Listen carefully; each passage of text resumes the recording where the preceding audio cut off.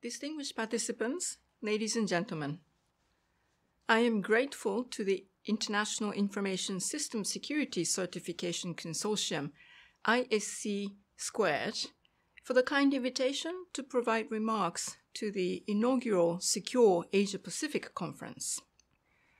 With each passing day, our societies are becoming increasingly interconnected through rapidly expanding digital tools. Over the past three years, the COVID 19 pandemic transformed the way we work, socialize, and educate, pushing us even further online.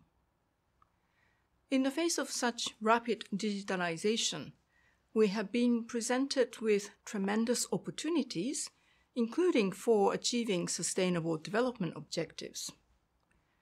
At the same time, we are acutely aware of the risks associated with digital technologies and the challenges emanating from cyberspace. Over the last several decades, malicious use of information and communications technologies has become ubiquitous from widespread distributed denial of service attacks to proliferation of various forms of malware to other incidents targeting critical infrastructure. Against this backdrop, ensuring the peace and security of cyberspace has quickly become an urgent priority of governments. Over the last two decades, states have engaged under the auspices of the United Nations General Assembly to develop a normative framework for responsible state behavior in the use of information and communications technologies.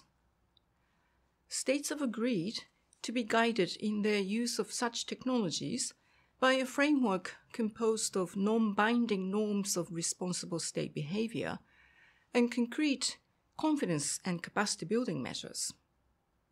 Crucially, states have also affirmed the applicability of international law in cyberspace.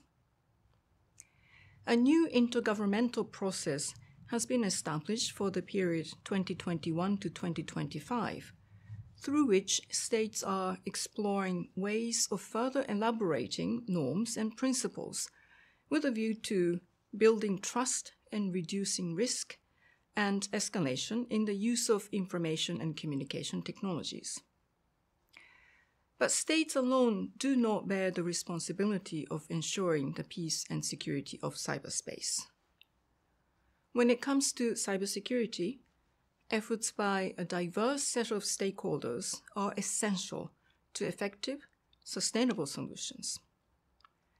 Stakeholder contributions are particularly important as ICT infrastructure is often developed and managed by private sectors.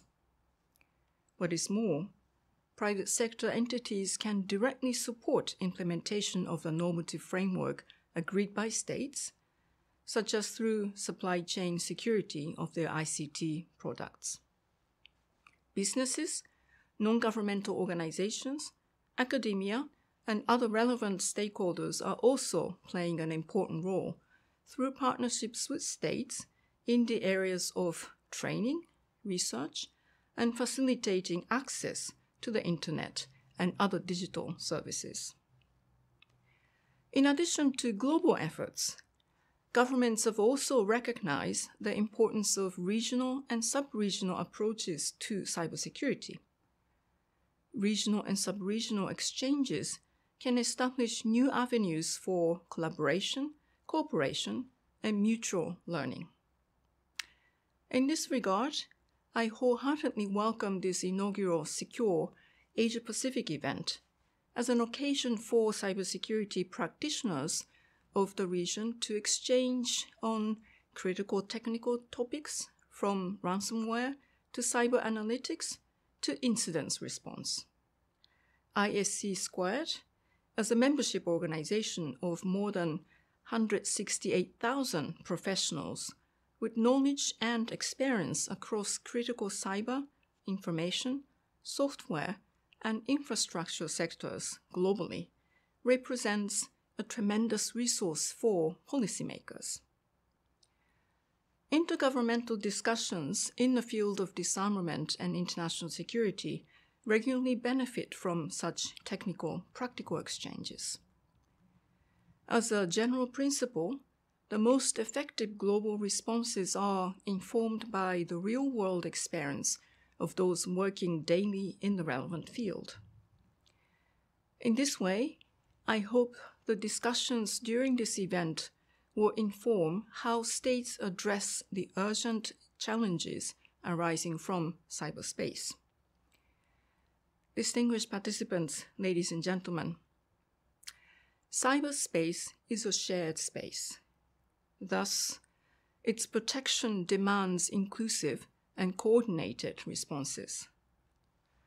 The United Nations counts on practitioners like those of ISC Squared to support us in the pursuit of these responses. Let us all continue to do our part in ensuring cyberspace remains safe, peaceful, and accessible.